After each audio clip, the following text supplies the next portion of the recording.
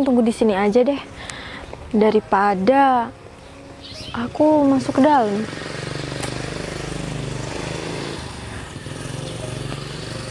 Tempatnya seru juga. Tapi mana ya pacar aku? Kok belum datang? Semoga aja dia gak telat. Soalnya aku gak sabar nungguin dia. Aduh. Semoga pacar aku bentar lagi bawa makanan, bawa minuman. Aduh, mana haus banget lagi hari ini. Panas banget. Oh iya. Aku belum tahu pekerjaan pacar aku. Hah. Pasti deh kalau misalkan aku nanya tentang pekerjaan dia, dia pasti bahas yang lain. Kayaknya ada yang disembunyiin deh. Ya udahlah. Tapi mana ya pacar aku lama banget. Aku udah hampir setengah jam di sini. Mana bosan banget lagi.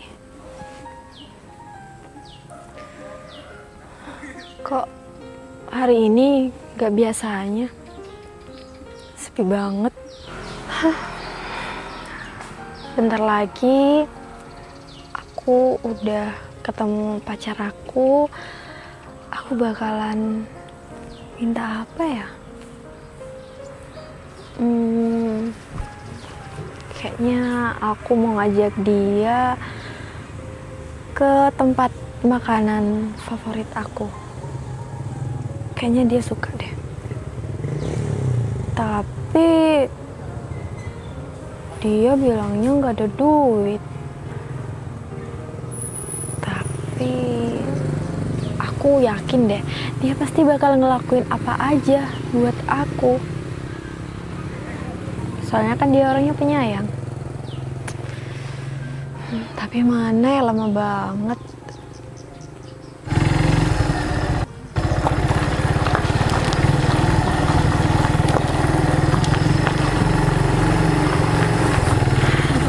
Ini dia. Mana aja sih lama banget. Biasa yang aku itu masih mandi, terus dandan. Lihat nih. Oh ya, Dan dan dan dan ih kayak orang perempuan aja. kamu itu jangan marah dulu. Kamu nggak lihat apa sekarang ada yang beda dari aku? Apa yang beda dari kamu? Hmm, tuh kan, nggak nyadar. Tuh coba lihat. Itu. Hmm, motor baru. Ya iyalah. Aku itu sekarang udah punya motor baru. Tuh lihat. Mereknya apa? Ya kan? Pastinya kamu tahu. Itu mah motor mahal, bukan motor murahan. Tapi kemarin ke- kemarin kamu bilangnya nggak ada duit. Itu kan cuman alasan aku yang ya istilahnya surprise lah buat kamu. Iya sih. Tapi sayang, aku sih nggak berharap kamu ketemu aku punya motor baru ini. Aku ya berharapnya itu kamu itu ya bawain makanan kayak minuman apa gitu. Waduh. Itu yang aku lupa yang. Padahal barusan aku udah mau mampir ke Tapi- supermarket, tapi mah lupa. Udah gini aja, kamu itu nggak usah ngambek cuman masalah makanan atau minuman. Abis ini kamu bakalan aku ajak ke kafe yang paling istimewa, bukan lagi supermarket. Hmm, gimana kalau misalkan kita ke kafe kesukaan aku? Iya iya, aku Ya udah. bakalan bawa kamu ke kafe itu, kesukaan kamu. Ya udah, tapi kamu janji ya. Iya iya. Oh iya yang. Tapi gimana menurut kamu penilaian tentang motor aku ini? Eh, menurut aku bagus sih. Terus juga kayaknya di kota ini jarang deh yang pakai motor kayak gini. Kata Ya kamu kan ini motor mahal. Nah, itu benar. Motor ini motor mahal, terus klasik dan juga jarang orang yang punya. Iya iya iya. Hmm, terus gimana nih? Kita lanjut ke kafe atau kita masih mau jalan-jalan? Atau kita masih mau ngobrol-ngobrol gitu di sini? Ya lebih enaknya kita jalan-jalan dulu yang. Habis itu kita pergi ke kafe deh. Iya udah kalau gitu. Sekarang aja. Ya udah, jalan nih. Iyalah sayang. Emangnya masih mau nunggu matahari teng- tenggelam gitu? Hah? Jadi yuk.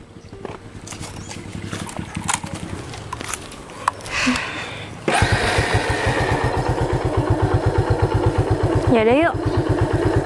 Udah, Udah. pegangan dong. Ntar Oh, iya. jatuh lagi.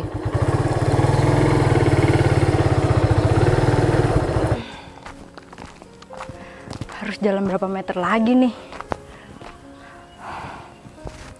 Banget lagi. Gimana kalau aku cari tempat duduk aja?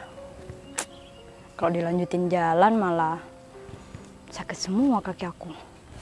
Uh, mana sih nggak ada yang jemput aku ya?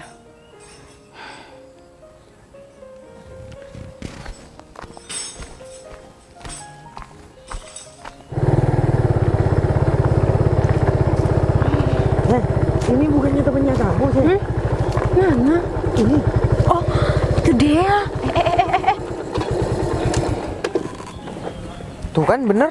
Oh, iya. Hai Dea. Hmm, Intan kan? Iyalah, emangnya kamu lupa sama teman kamu ini? Iya, aku lama karena nggak ketemu sama kamu, jadi inget-inget lupa sih wajah kamu gimana. Oh iya sayang. Kenapa sayang? Dia itu temen kamu yang gadis desa. Iya, yang gadis desa yang aku ceritain sama kamu itu. Ya biasalah, emang ke mana-mana dia nggak bawa motor, emang nggak punya motor sih aslinya sayang. Ya begini deh tampilannya. Kamu kok ngeselin gitu sih? Baru juga ketemu bukannya nanya kabar aku kek atau nanyain kesehatan aku atau gimana? Ya emangnya kenapa? Salah tah? Aku eh, ngomong kayak gitu sama kamu. Iya salah, aku sakit hati. Eh mbak, emang kamu mau ke mana? Jalan kaki sendirian? Apa nggak takut tuh dirampok, dibegal, iya kan? Eh, Sebenarnya takut sih, tapi ya mau gimana lagi? Tapi sayang nggak mungkin lah dia itu dibegal atau dirampok. Soalnya ya duitnya nggak ada. Terus juga ya penampilannya kayak gini gak menarik sayang. Gimana sih kamu? Iya sih tapi apanya ya yang mau dirampok? Sedangkan mbaknya nggak bawa apa-apa. Bener banget sayang. Dea, Dea. Oh iya, aku sih gak nanyain kabar kamu ya. Tapi aku tahu kabar kamu kayak apa pastinya. Eh, aku cuman mau nanya, pekerjaan kamu sekarang apa? Oh, kebetulan aku di rumah aja. Tuh kan sayang. Aduh, udah gadis desa. Pekerjaan gak ada. Terus dia eh, setiap harinya mau makan pakai apa? Eh, sayang, di desa itu mana ada kantor? Ya nggak ada lah. Kebanyakan orang-orang desa tuh ya kerjanya ke sawah, iya kan? Bawa celurit, tuh ngambil rumput. Hmm, tapi pekerjaan aku bukan itu kok. Dan kebetulan aku udah bersuami, jadi aku nggak perlu kerja. Bersuami? Emang ada yang mau sama kamu? Ya buktinya aku udah nikah. Iya terus? Pasti sayang, suaminya tuh ya miskin juga. Eh, terus suaminya ke mana mbak? Ya ini aku lagi nungguin dia sih, tapi gak datang-datang. Ya mungkin bentar lagi datang biar aku kenalin sama kamu ya. Oh, mungkin suami mbaknya yang di sana tuh. Tadi aku sempat ketemu. Oh Dia- ketemu mas? Iya, bawa rumput banyak di diginiin. Kasian banget deh. Iya emang, itu bener suami kamu. Bukan lah, dia kan niatnya mau jemput aku, bukan mau kayak gitu. Oh, siapa tahu kan mbak? Aku kan juga nggak tahu kan kebanyakan kalau orang desa kayak gitu cari rumput buat pakan sapi. Ya, biasanya juga pakan istrinya. Soalnya kan nggak ada uang kalau mau beli beras.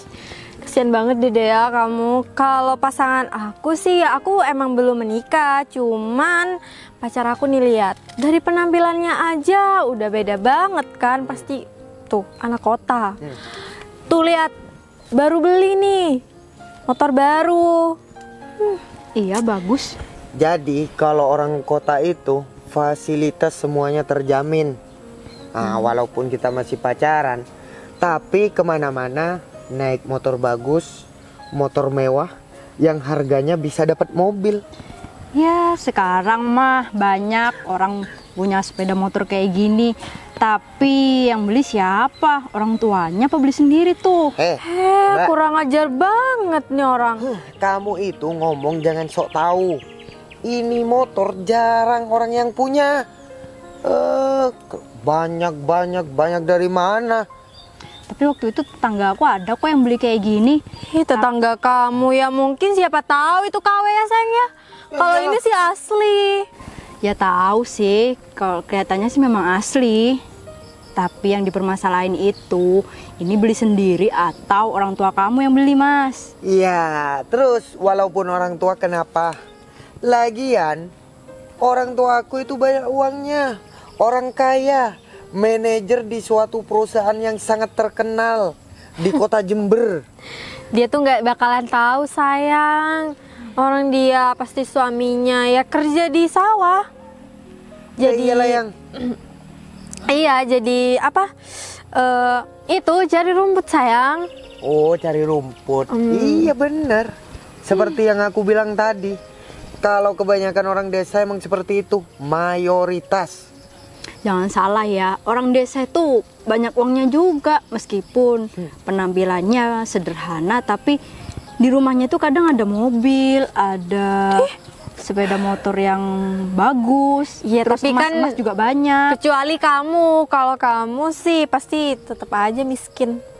Tapi sih bener juga apa kata temen kamu ini yang biasanya kalau orang desa itu nabungnya emas. Terus kalau udah nggak punya uang, udah deh digadaikan. Aduh, hidupnya sengsara banget deh. Hmm, tujuan kalian ini apa sih? Ngina aku ya? Eh, bukan gitu mbak. Tujuan kita berdua itu ke sini ya berhubung ketemu sama mbaknya gadis desa. Ya kita mau pamer motor mewah, motor baru kita ini. Bener-bener.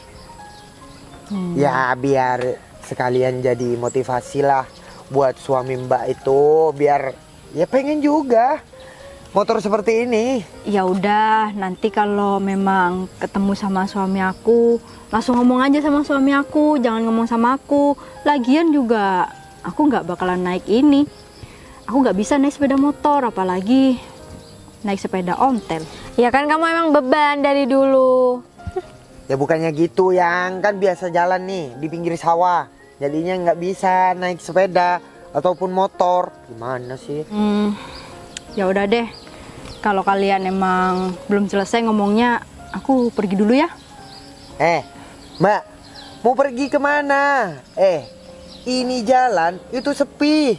Kamu nggak takut apa? Di sini itu banyak begal, banyak rampok. Antar, nggak tahu lagi deh. Kalau jadi korban ntar bau tahu rasa. Tapi kan aku juga sakit hati kalau kalian kayak gini terus. Siapa nih sayang? Nggak tahu. Ah, apa gara-gara motor aku di jalan ya? Iya mungkin sayang kamu sih. Eh, kenapa mas? Eh, mau bilang, eh motor aku di jalan ya? Mau lewat? Sayang. Hah, sayang? Oh ya, Sayang. Kamu ngapain di sini? Ini aku bareng Mas Alek. Dia itu partner kerja aku. Oh iya, Mas Alek. Iya Pak Dea. Ini mobil siapa? Iya mobil aku sayang. Oh ya, Baru? iya baru baru dua hari. Wah, keren banget. Oh ya, Beli mobil. kedatangan aku ke sini itu untuk jemput kamu, sayang. Di kota aku udah beli rumah. Beli rumah? Iya, Kenapa nggak ngabarin aku dulu sih? Oh kan, di sini juga butuh kabar kamu. Kalau beli rumah kayak gitu kan, aku ikut kamu aja. Oh, ini suami kamu, Dea. iya. Emangnya ada apa? Tapi beneran kan ini mobil suami kamu? Gimana sih masih tanya aja? Iya, terus dia siapa? Nih, aku kasih bukti. Nih. Tuh, Dibuka biar kamu tuh tahu. Iya yang bener. Udah kamu itu jangan sok nggak tahu. Itu bener punya suaminya mbaknya. oh ya. Kamu ngapain di sini? Di pinggir jalan? Aku tuh jalan-jalan, tapi gak ada yang jemput. Eh, Mas, katanya kamu mau ngomong sama suami aku. Kayaknya kita harus ke Nggak jadi, kafe, Mbak. sayang. Iya, kita masih ada urusan. Iya mas, benar. Mulai tadi kita berdua itu di sini nemenin istri mas. Nah, Eh, iya. Takut ada apa? Begal. Iya Dea, kamu tuh ya nggak baik. Jalan-jalan sendirian, apalagi di sini sepi banget Dea. Ya udah, sekarang aku udah datang ke sini dan kalian nggak perlu jagain istri aku lagi. Udah ada aku. Iya, iya mas. Iya udah kalau gitu eh, aku pergi dulu ya Dea. Permisi. Mari mbak. Ya udah sayang, kita pulang yuk. Yuk.